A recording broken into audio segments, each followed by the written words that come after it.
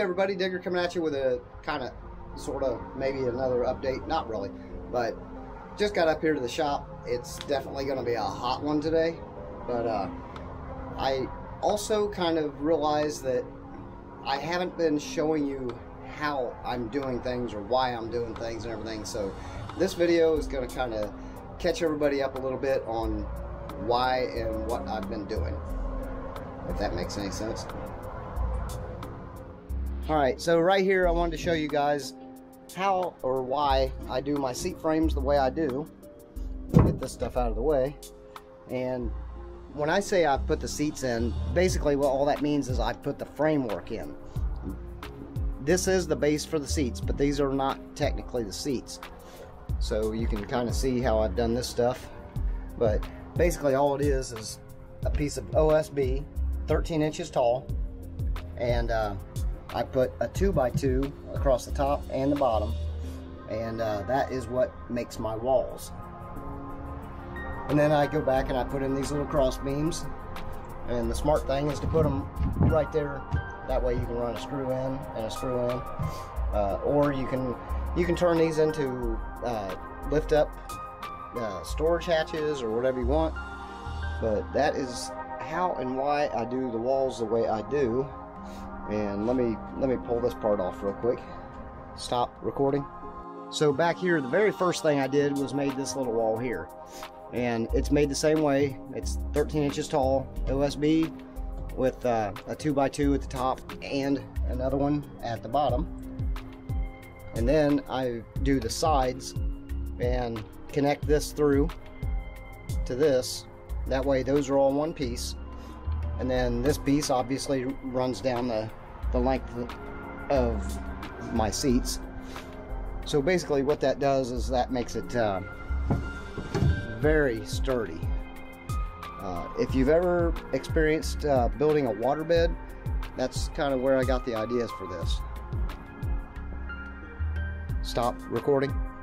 Obviously you can see that uh, the the tops up here, all that is is these are uh, more OSB and they're 24 inches wide. Um, basically, it was just taking a 4x8 sheet and cutting it in half.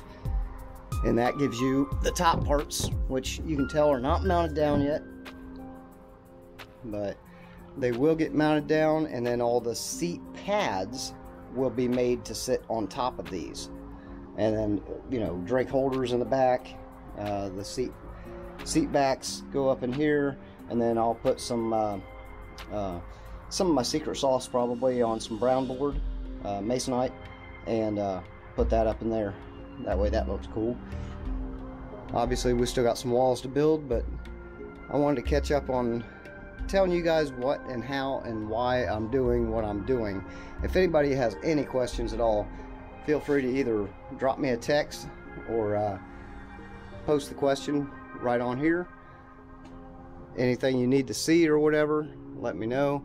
We have not gotten into the wiring on this bus yet, so I know that that's something that uh, quite a few people have contacted me about and everything, so I will be showing you guys how I wire everything and everything on this bus. Oh, and just so you guys saw this, this is where I notched out that little area right here so that they can get to the uh, emergency handles. So the seat backs will be coming up against this, but there'll be enough room to get up under there to do that. You have to keep those open. If it ever goes through inspection or whatever, they will test that out. So that's about it for right now. There is Bobby J. We Just opening up the garage door. So that's pretty much everything I've got for right now. So, like I say, if you guys have any questions or anything, feel free to uh, either text me or post it in the comments below. And uh, if it's something that I haven't done yet, I'll be, I'll definitely make you a video just for that. But, uh, and I do want to say hello to Caleb. Caleb is in Hawaii. He contacted me the other day, you know, just to say, hey, thanks for doing these videos. I love to see that. So if if anything I do helps you build your bus, please post it and let me know. Uh, it does make me feel a lot better and it makes me feel like uh, these videos are worth doing because th there's no money in these videos. I do I do this just for you guys. So uh, you know, I do appreciate each and every one of you, all my subscribers, and you know, even anybody that's not subscribed. I don't know why you wouldn't be, but okay. all right, everybody. I'm gonna do something. I don't know what, but I can tell you that today is Thursday, and Wednesday, yesterday, I woke up in the morning and my lower back was hurting, and it's still hurting right now. I think the getting out here on Monday and Tuesday, doing all the work that I did and everything, I just, I'm 56 years old, guys. I kind of overdid it a little bit, so I'm going to try and take it a little bit easy today, but still see what I can get done. So, I guess I'll get off here and act like I'm doing something. so, we'll catch you all in a little bit. All right, back to the framework. Just to let you let you get an idea of how this is done. Like I say, we've got the OSB, the two 2x2s, top and bottom, and then you've got some cross runners here. And normally these I try to do no more than like 36 inches apart. That way then, when you bring this down, you got a good solid surface right there. Now the one thing you want to do is definitely make these heavy duty enough that you can stand or walk across them because this is a party bus. People are going to get crazy in these things. Doesn't matter what you do or anything like that. Once you get 14, 18 people with alcohol in them, it's it, people are going to stand on everything, crawl on everything. They're going to turn the stereos all the way up, not even caring about distortion or blowing your speakers or anything. So that's why we build these as heavy duty as possible and then some more because these things are just going to get the crap beat out of them so I just try to make them as heavy duty as I can make them put, put up with everything that way it lasts a while because it's no fun if you got a party bus that after six months of runs it looks like it's wiped out so uh, if you look at uh, Wind Party Bus which go back a couple years on my videos, you'll see a bus that I built back in 2015 for uh, wind transportation. He's still running the bus here in the Dayton area, and uh, it still looks fantastic. So it just depends on how it's built and how you take care of it as to how well it's going to hold up. But we're trying to make these as heavy duty as possible. So that's what we got for today, for right now. So we'll catch you in a little bit stop recording. So then my benches are actually strong enough to walk all over.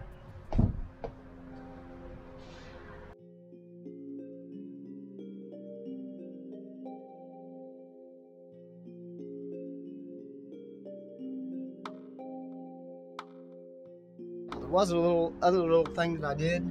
See those little plus signs? I have marked all of my cup holders every 24 inches apart. We've got a place for a cup holder. The one thing you have to do though is make sure that there's nothing below it. Like this right here, you don't want to put a cup holder right there. So just make sure everything's all good and clear before you uh, go drilling any holes. So as of right now, I've got I've got it marked off for 15 cup holders, but uh, this little uh, this little foldable seat thing up in the front I'll have a couple more up in there. That way if there is somebody up here in a wheelchair they've got a place to put their stuff. So okay everybody. Finally got a haircut yesterday. That feels a little bit better. All right on to the next. I hate when this happens my tape measure went limp. That's what she said. Don't step on your tape measures guys. And another thing I did, I did put the floor down, and you guys will see a little bit of a gap down here, you know, down here in the uh, thing, but that honestly does not make a difference because the thickness of the carpet that I'm putting up here, plus a baseboard trim across here, and that's going to come out to like right there, so nobody's going to see that little gap there. Same thing with this one down the middle. Once I put the flooring in over top of that and everything, that little half inch gap is not going to be any big deal. So the important thing was just to get it floored. That way, you know, everything is nice and solid. So, and up here, I actually did this, if you can tell, this part right here is a little bit on an angle. So you can tell I kind of slivered in a little piece right there. So once I floor this and everything, there's going to be a transition strip right through here because this section up here, we have to keep this floor just because of the wheelchair tie downs. And also, you know, you've got this E-track up here at the top that I don't know how it all works. I've never strapped down a wheelchair, but I guess you need all that stuff. So that's why we're doing that the way we are. And down in here, you can kind of see I got a screw right here I gotta finish running in, but that's kind of how we do things and why we do things and all that kind of crazy stuff. I'll get to the ceiling eventually, but for right now, it's all about the framework. TV did come in yesterday. I didn't bring it up with me today because when my back feels, I don't want to mess with that today. so uh, we'll get to that. Like I say, right now we're just gonna kind of see what we can do without hurting ourselves anymore. so that's about it for right now. So if I see anything else, I'll put it on video.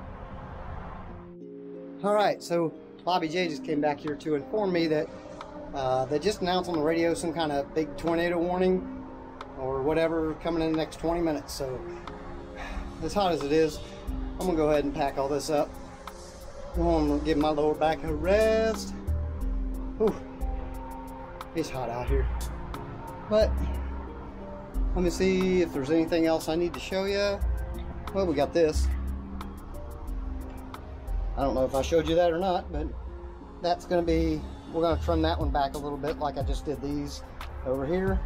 And uh, there's probably going to be a little flip up seat action going on right there. But we'll see. We shall see. Phew. It's a hot one out here, people. All right.